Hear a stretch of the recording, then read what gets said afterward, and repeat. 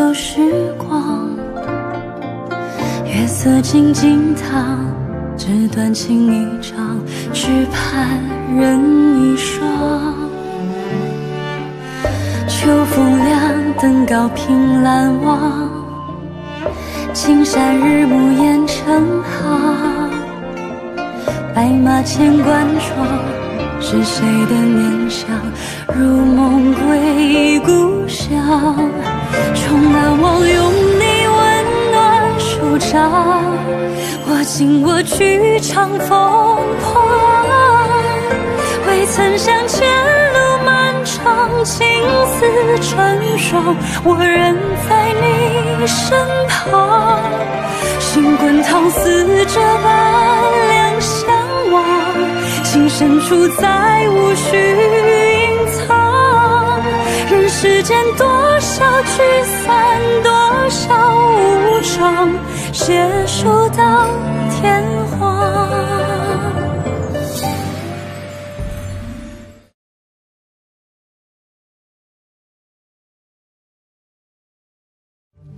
侯爷。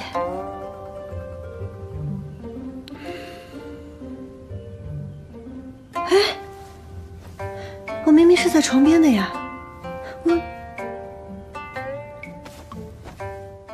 科技新草本百雀羚淡纹真颜霜，快淡纹防爆纹，邀您收看《锦心似玉》。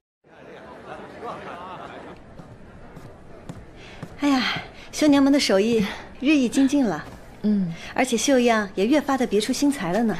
说的是啊，我看你啊，气色也好了不少，想来。是在徐家的日子过得越发顺心了吧？太夫人对我态度也有了好转，跟侯爷相处也融洽了很多。说的是，我相信人心都是肉长的，只要你付出真心，总会有回报的。啊，对了，师傅，嗯，娘亲的事我有了新的发现。哦，你说，那日我在欧少夫人的袖口上发现她这里的花纹。和我们绣布上的花纹十分相似。欧少夫人，嗯，为何又和欧家扯上了关系？我也不知是怎么回事，但只要有一丝希望，我也想要找下去。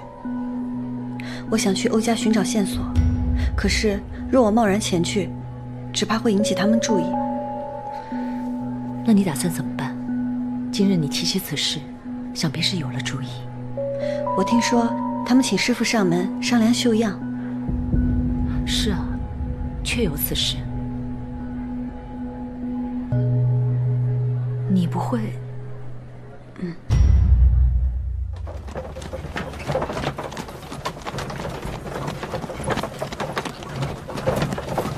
去。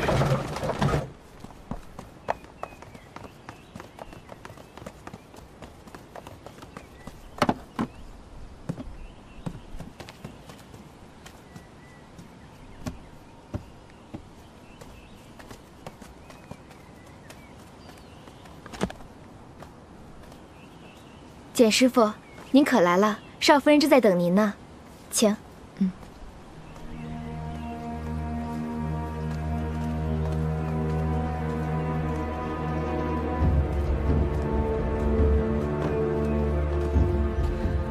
面就是欧侍郎的房间了。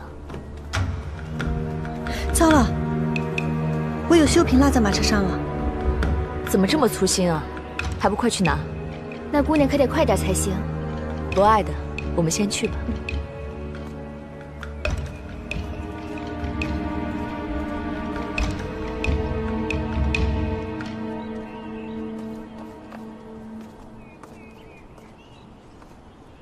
少夫人，简师傅到了。见过少夫人。早就听说仙灵阁的简师傅手艺非凡，我以为他们是夸大其词呢。自从上次看见你跟宁家太太做的霞帔，简师傅的手艺真是名不虚传。多谢少夫人抬爱，仙灵阁不胜荣幸。今儿个请简师傅来，是我想做两件新的衣裳，选一选比较别致的绣样。您是就自己来的呀？还以为绣娘去取绣样了。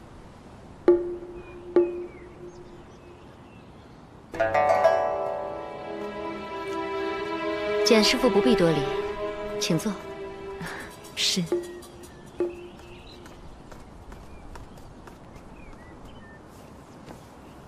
少夫人简师傅绣样拿来了。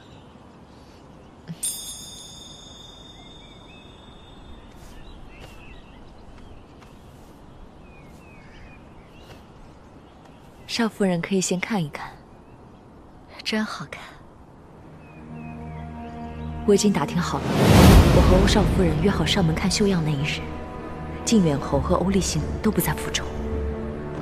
那我们按计划，还需要一个人来配合我们。嗯，所以我会安排一个丫鬟，打扮和你一样，晚些时候会送绣样过去。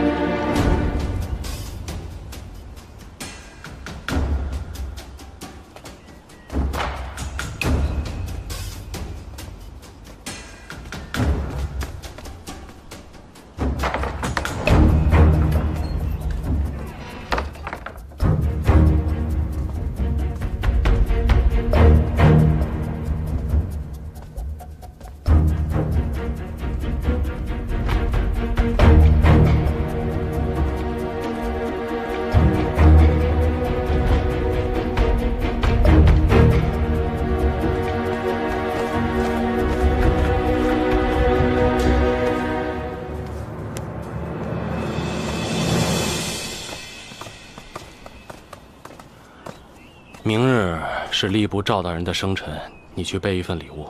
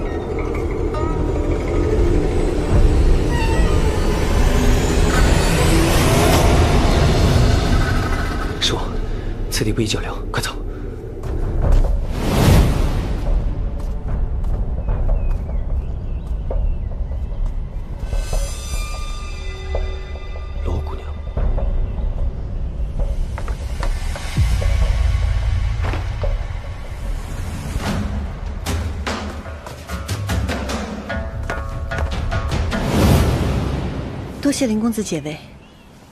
只是你怎么会出现在欧家？其实我本名欧雁行，是这欧家的庶子。林是我母族的姓氏，我常年在外经商，不想借助欧家的权势，便化名为林世贤。原来如此，我并非有意隐瞒姑娘，只是，只是当年因娘亲之死，我与父亲起了争执，从此便离开了欧家，一年也难得回来一次。刚刚我去了仙灵阁，听说你和简师傅来到这儿，便回来看看。只是不知姑娘为何偷入我大哥的房间。我刚刚只是迷了路。我刚刚可是看得很清楚，姑娘不像是迷了路的样子。其实就是我衣服有些乱了，想找个房间整理一下。但我真的不知道那是你大哥的房间。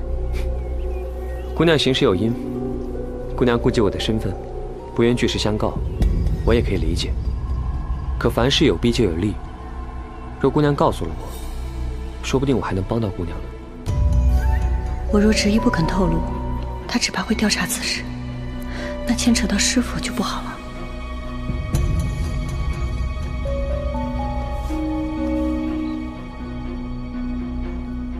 我就是为了这个。当日在慈安寺，我未与公子会合，是因为我娘在慈安寺附近被歹人所害，这块绣布就是凶手留下的线索。你是说你娘在我们相遇那日被害了？嗯。那日我没见到你们，以为你们临时改了计划，便先行离开了，没想到会这样，这都怪我。我若再等等，或者在附近仔细寻找一番，想必结果会大有不同。公子不必自责，这件事本来跟你也无关。之前有一次偶然的机会，我看到欧少夫人身上的刺绣与这块绣布上的花纹别无二致，所以，我便来到这里寻找线索。你的意思是，凶手可能是欧家人？不是我有意要为欧家人开脱。这种刺绣虽然少见，可并非只有欧家人才有。这刺绣源自于东瀛。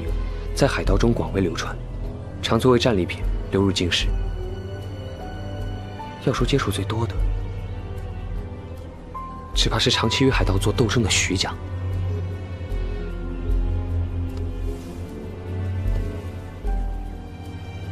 徐家，他毕竟是欧家人，说的话也未必可尽信。多谢公子今日告诉我这些，今日之事还请公子替我隐瞒。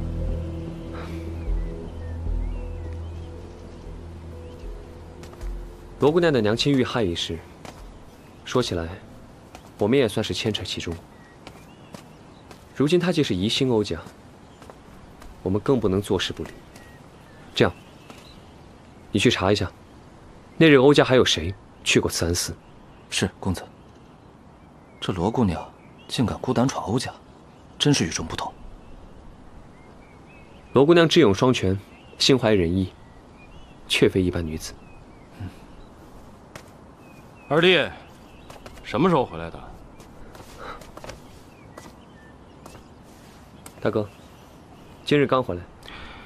咱们兄弟俩不要这些虚礼。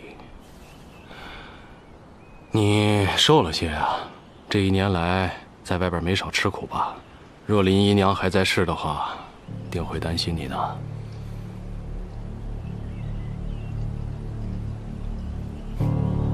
若姨娘在世，我必天天陪着她和父亲身边尽孝。想必，这不是大哥想看见的吧？二弟说笑了，一家人团聚，我怎么会不高兴呢？回来好，也好帮大哥分担些家事，否则父亲。都快忘了还有你这么个儿子了。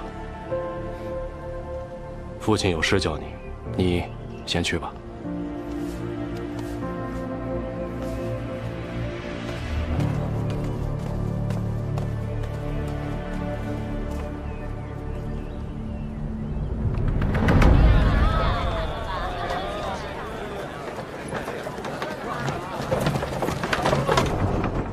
十一娘。你有没有查到什么线索？师傅那边有什么发现吗？欧少夫人说，欧家只有她才有这种刺绣，其余并不知情。今日也太危险了，差一点就被欧少夫人怀疑了。以后断不能再做了。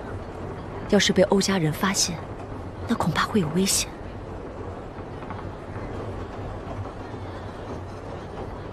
其实，刚才我也险些被发现。是林世显，林公子及时出现救了我。林公子，他为何会在欧家？林世显是他的化名，他其实是欧家二公子欧燕行。啊！我与林公子相识已久，竟然不知他竟是欧家人。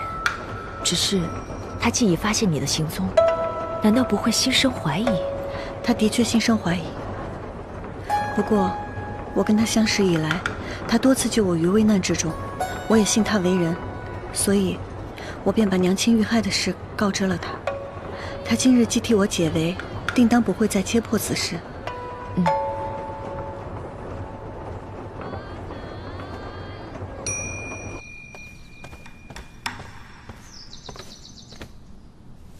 父亲，嗯。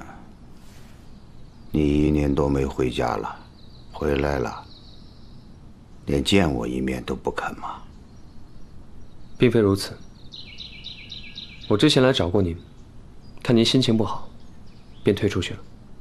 啊我知道，我知道你心里还记恨着我，但是你娘也走了那么久了，能忘的就忘了吧。忘了？当初是您承诺要娶我娘为妻，可转眼之间为了家主之位与别人联姻，让她做妾，害她郁郁而终。如今轻描淡写的一句忘了。就想把这些都抹去吗？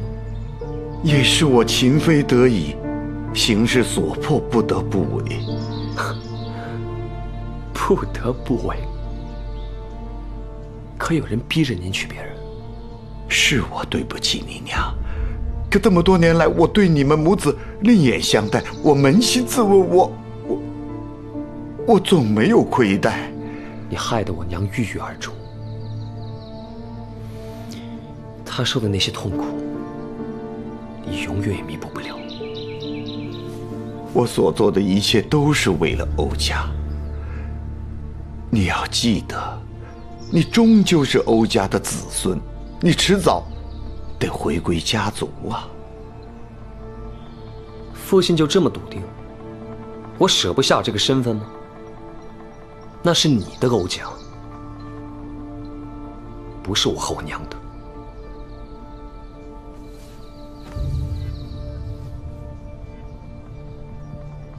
丰平粮行近日低价出了些米粮，我听说是你出的面，是不是你的欧家？你自己再掂量掂量。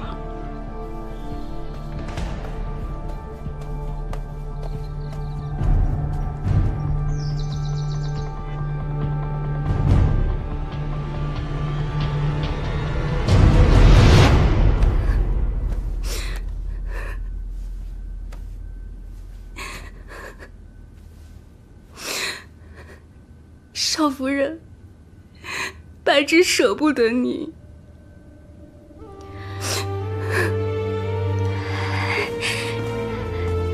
快起来！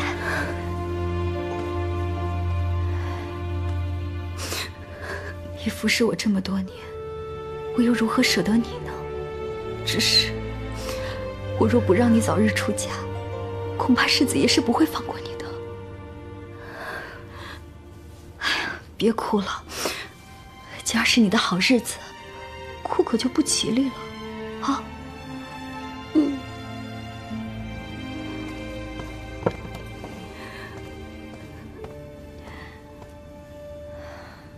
这是你的卖身契，你记得收好。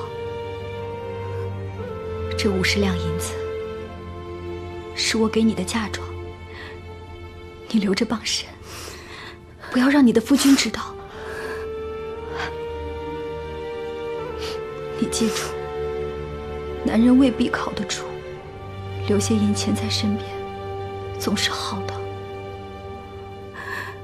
少夫人为奴婢思虑如此周全，可少夫人自己呢？若是世子爷知道你放走了我，只怕不会善罢甘休。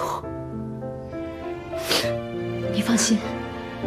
我会跟世子爷说，你染了病，去农庄休养了。他本就是个无情的性子，慢慢的也就淡了。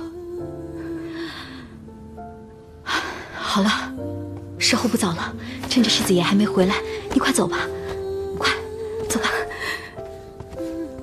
少夫人对奴婢的大恩大德，奴婢来世结草衔环相报。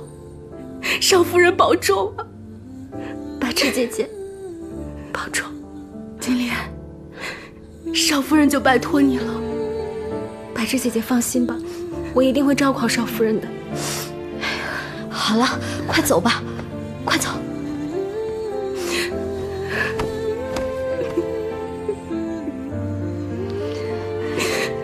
快走吧，快。走啊，快，走。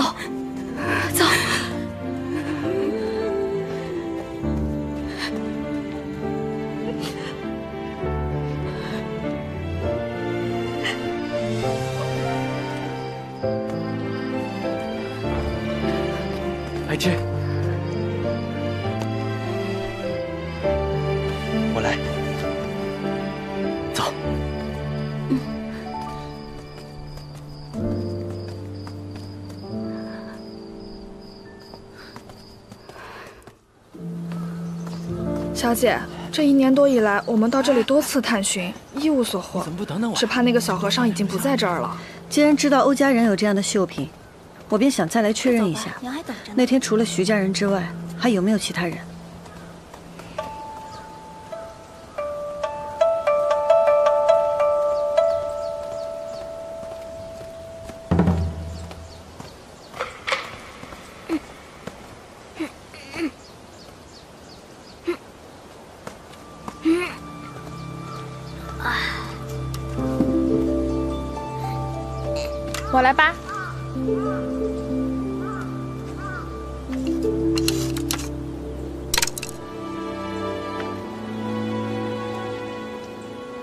施主，清明小师傅。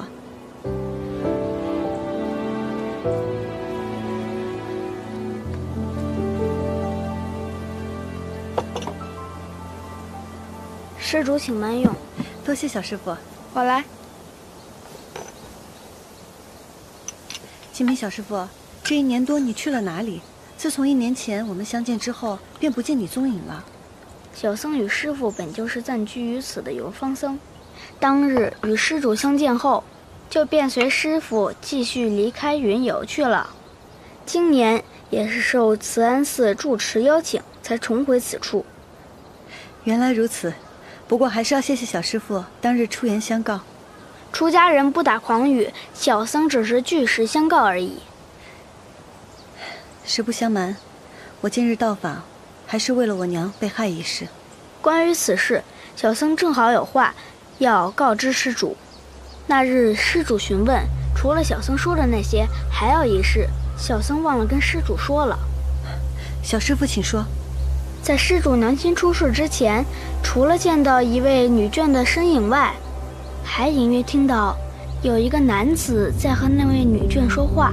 小僧并未听清楚内容，但看两人言行，应是十分的熟人。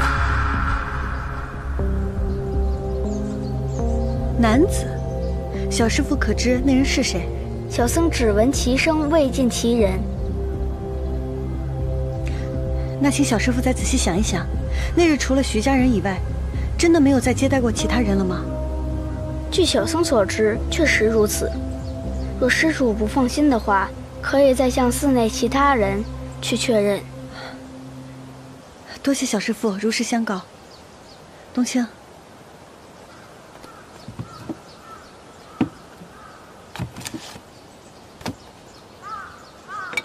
个果子很甜的，小师傅尝尝。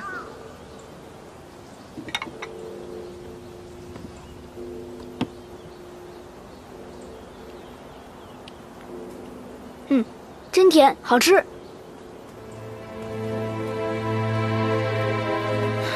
这事儿可真是越来越扑朔迷离了，怎么还突然冒出来个男人？这男人到底是谁呀？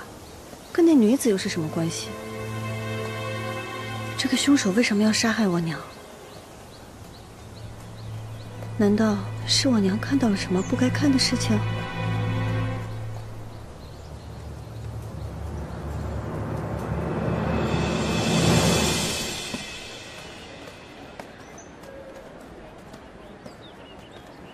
四嫂，五爷回来了。啊，对了，四嫂，上次您问我慈安寺之事，我已经向下人一一询问了。当初在寺庙中有人看到乔姨娘离开了半个时辰，或许她看到了什么。四嫂不如向她询问一下。乔姨娘。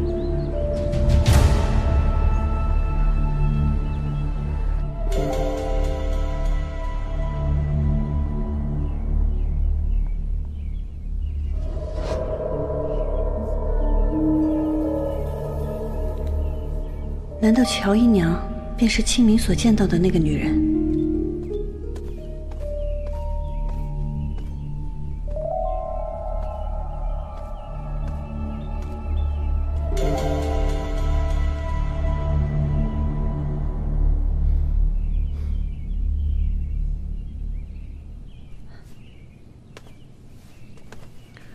侯爷来了，在想什么呢？有心事？没什么，只是我娘的忌日快到了，就想到了一些往事。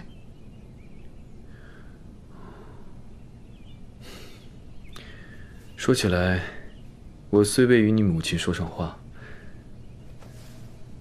但能教养出这般心性的女儿，想必也是不凡之人。我母亲本出身书香门第，因家道中落，被迫成为妾室。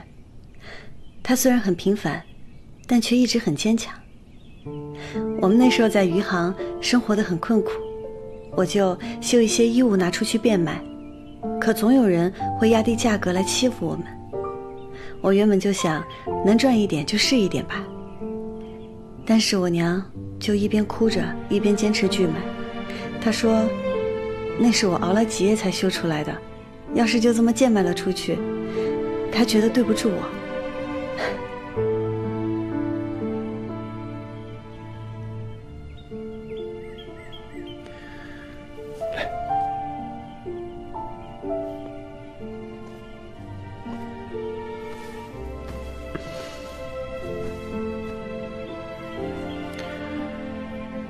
既然你母亲的忌日也快到了，不如我们用你们余杭的习俗，给他祭奠一下。谢谢侯爷。那侯爷，我可以在家中为我娘亲办一场法事吗？一切随你。多谢侯爷。其实关于我娘，在施主娘亲出事之前，除了见到一位女眷的身影外，还隐约听到有一个男子在和那位女眷说话。怎么了？没什么。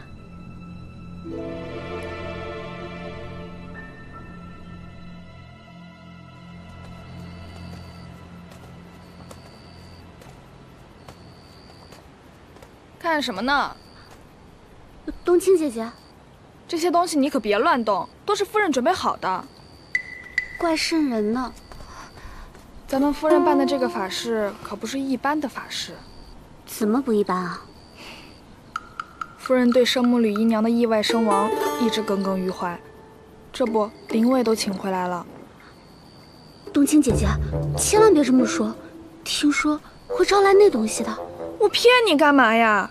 之前绍兴就有一对兄弟，因为嫉妒杀害了别人，死者的家属就办了一场这样的法事，然后那俩兄弟就跟被什么附身了一样。你猜结果怎么着？怎么着？第一天那俩兄弟就开始掉头发，没多久就全身淤青，三天后瘙痒难耐，身上长满烂疮，全身溃烂。啊！到了第七天，直接穿肠烂肚而死。你说吓人不吓人？冬青，夫人，夫人在这里胡言乱语什么？夫人，我也是听说的，冬青不敢了。平生不做亏心事，夜半敲门心不惊，怪力乱神我是不信的。即便这场法事真招来什么，那也是冤有头，债有主。乔姨娘，是吧？哈，夫人说的极是。哪有什么冤魂啊？不过就是那些术士故弄玄虚、欺骗人的罢了。只要行得正、坐得直，暂时不怕的。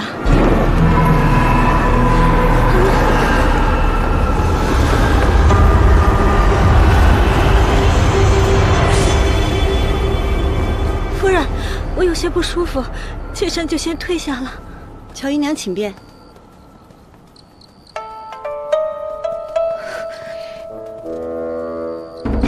你们都退去吧，若是被侯爷发现你们在私下议论这些，他定会不喜。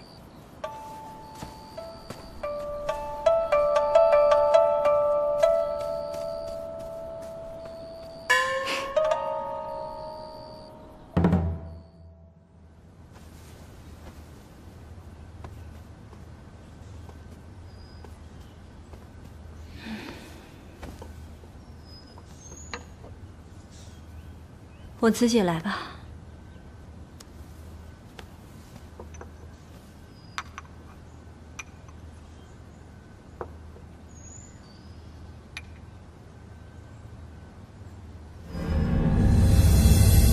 啊！怎么了，姨娘？我我掉头发了，秀媛。没事的，姨娘。我平日日没有掉这么多。姨娘，是你想太多了，您可能是梳得太用力了，平日也是掉这么多头发。我平日没有掉这么多头发。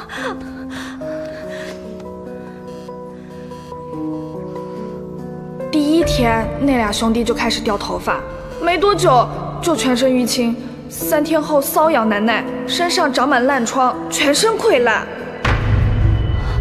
好痒，好痒，浑身痒，秀媛。姨娘，你怎么了？哎呀，好痒！你你快去备车，备车去慈安寺。是。哎呀！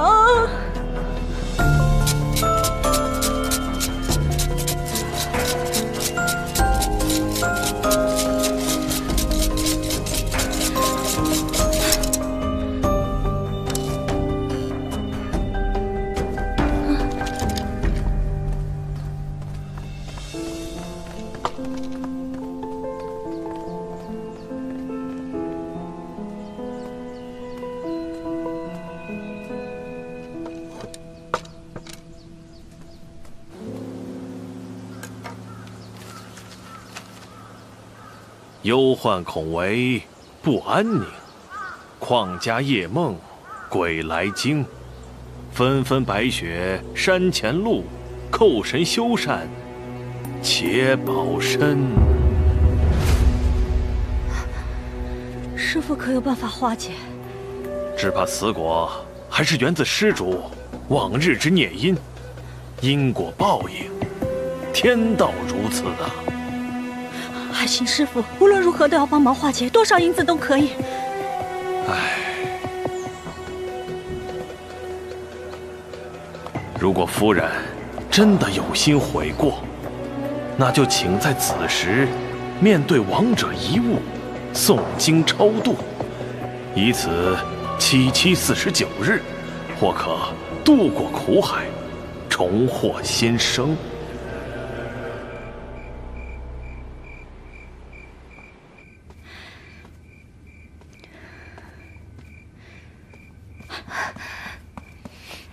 东西拿到了，放心吧，姨娘。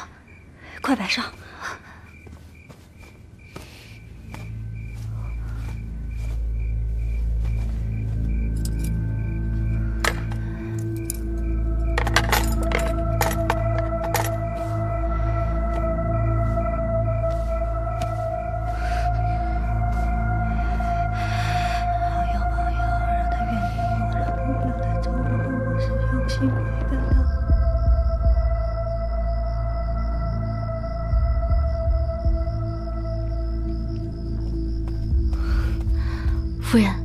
的计划奏效了。乔姨娘果然心里有鬼。怎么样？我听丫鬟说，乔姨娘因为心虚，误把自己的断发当成怨鬼作祟，还自己吓自己，无故瘙痒了起来。后来她果真跑到慈安寺去祈福了。那解签人是按照嘱咐告知乔姨娘了吗？夫人放心，全部是按照夫人的嘱咐说的。不过令人意外的是。乔姨娘听了解千人的话之后，并未做任何和吕姨娘有关之事，而是让秀媛去了春熙院，取了先夫人的首饰。大姐，嗯，夫人，难道我们找错人了？莫非乔姨娘真的跟吕姨娘的死无关？人是找错了，但这并不代表我们没有收获。乔姨娘听信了解千人的话，竟跑去找来了大姐的遗物，诵经超度。只怕大姐的病势与她脱不了干系。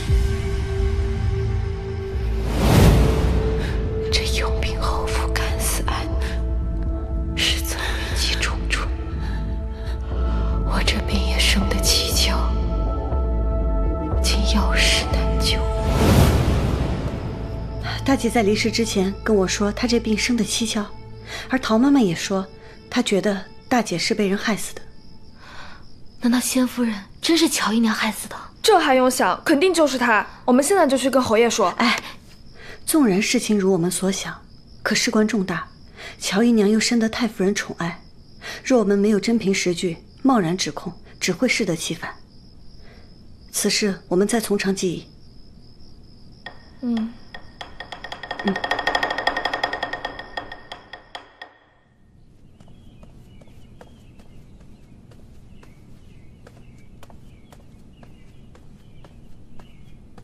夫人，您找我。陶妈妈，我前些日子听人提起和氏医馆的妙药很有灵效，我便想起之前大姐好像一直服用的，也就是和氏医馆的妙药。可她为何当时一直缠绵病榻？夫人，您有所不知，先夫人宫寒，打从她进了门就一直怀不上孩子。自从吃了和氏医馆的妙药以后，就怀了尊哥。可是因为尊哥早产，就落下了病根儿。所幸也是因为吃了这个妙药，又怀了第二胎。后来因为滑胎，从此体弱多病，药石无灵了。那听你这么一说，大姐的病是因滑胎而起？是。那滑胎之事可有问题？先夫人也曾怀疑过滑胎是有人做了手脚。可是当时查来查去并无线索，后来就含恨而终了。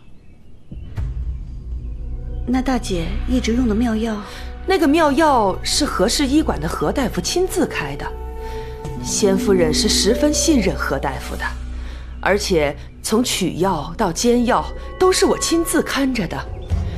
每次给先夫人服药之前，我都试过，那药并无毒性。而且服用了以后是有效果的，我想，这药应该是没问题的。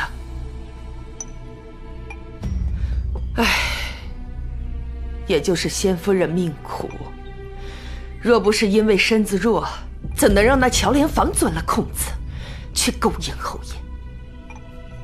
之前乔姨娘就经常来徐家。是啊，乔莲房是太夫人的表侄女儿。因此，他经常出入徐府。巧莲房为了讨好太夫人和侯爷，费了不少心思。夫人，您若是没有嫁过来，只怕这永平侯夫人的位子，就是他巧莲房的了。哎，夫人，您怎么今天突然问起这个了？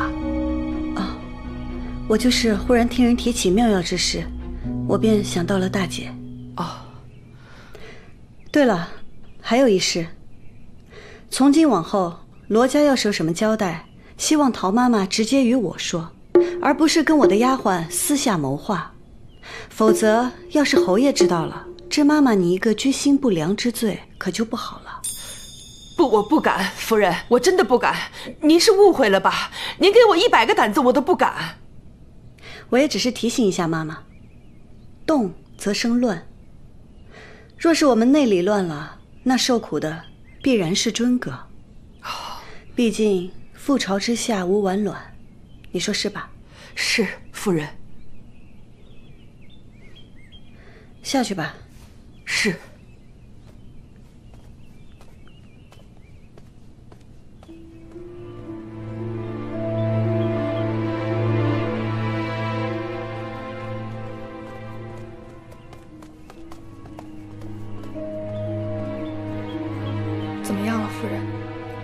利多者疑，乔姨娘害死大姐的嫌疑非常大。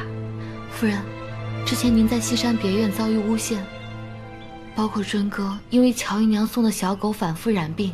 虽然这一切我们都没有真凭实据，但与乔姨娘脱不了干系。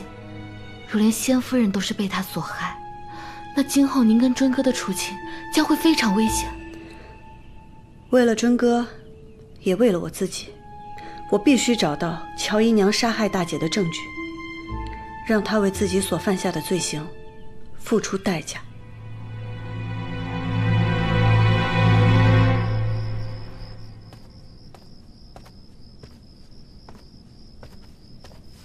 还没睡啊？侯爷，有什么事吗？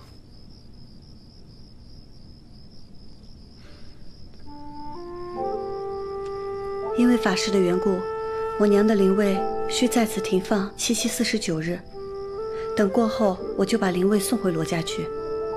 对，你母亲的灵位不能放在罗家的祠堂。这样吧，若是你不介意，你母亲的灵位可以一直放在这里。真的可以吗？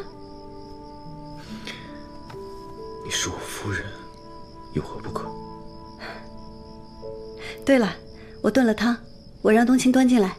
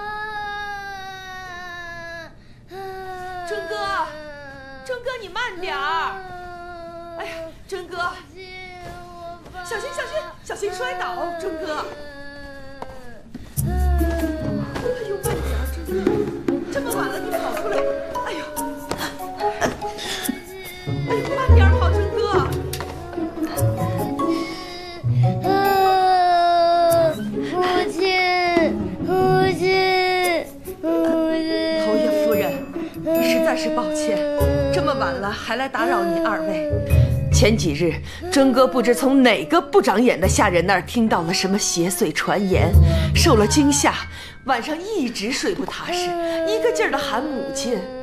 无妨，你先下去吧。是。乖，钟哥，怎么啦？怎么哭鼻子了？我刚梦见爹娘不要我了，还让我一个人在外面，又冷又饿，都没有一个人理我。娘亲和爹爹怎么会不要你呢？你刚刚是做噩梦了，是个梦，是假的。来，挨着母亲睡，不害怕啊。躺下。来，真乖。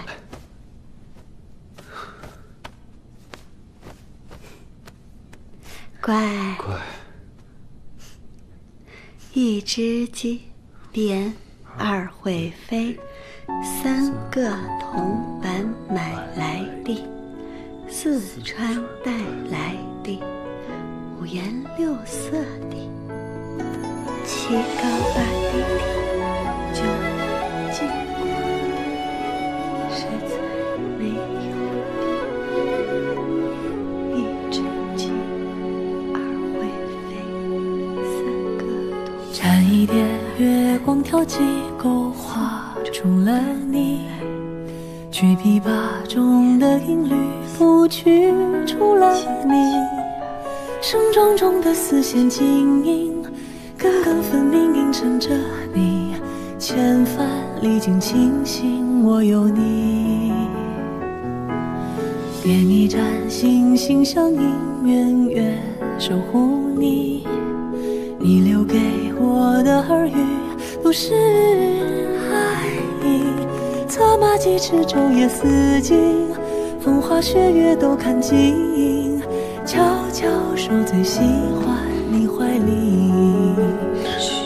要长生生，也要听此刻虫鸣；要心无间，也要轻眼角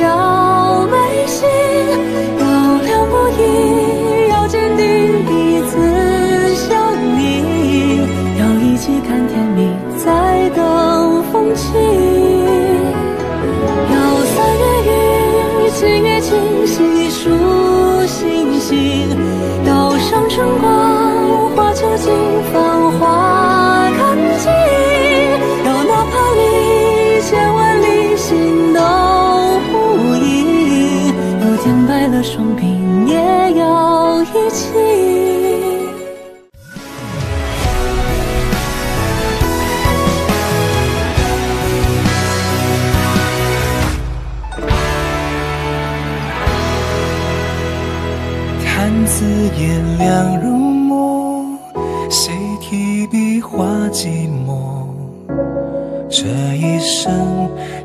边漂泊，唯有相思难临摹。山城等雨落，我等你回忆中经过，看天色比你脸色更落寞。风起又摇烛火，岁月冷一闪一路曲折而缘分始终不说，心事掩沉默，却画不出你的轮廓。这纸墨要怎么写进你我？谁提笔又因思念平地起风波？谁来过又惹往事在心里颠簸？若深情可念不可说，结局我不多。你的灯火阑珊处有我。谁提笔挑起孤单，泪眼几婆娑？谁来过为你耗尽我一生笔墨？若飞蛾不曾不过火，怎么谈执着？你的故事尽头处是我。